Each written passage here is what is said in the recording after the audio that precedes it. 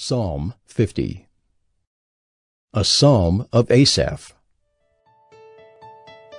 The mighty one, God the Lord, speaks and summons the earth from the rising of the sun to its setting.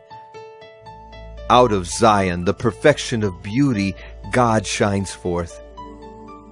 Our God comes. He does not keep silence. Before him is a devouring fire, around him a mighty tempest.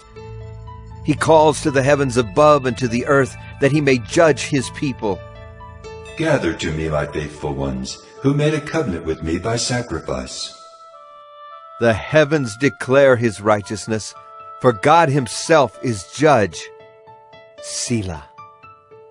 Hear, O my people, and I will speak. O Israel, I will testify against you. I am God, your God. Not for your sacrifices do I rebuke you. Your burnt offerings are continually before me.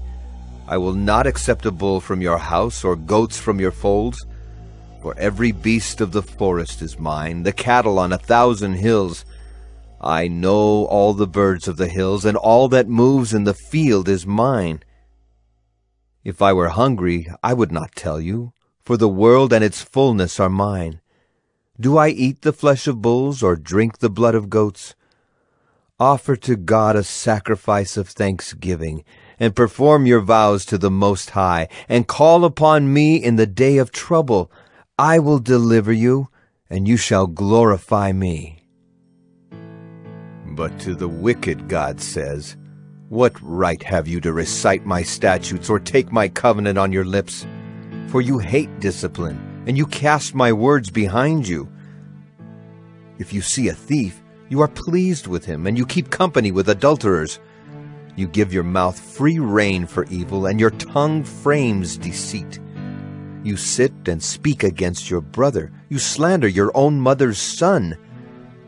These things you have done, and I have been silent. You thought that I was one like yourself. But now I rebuke you and lay the charge before you.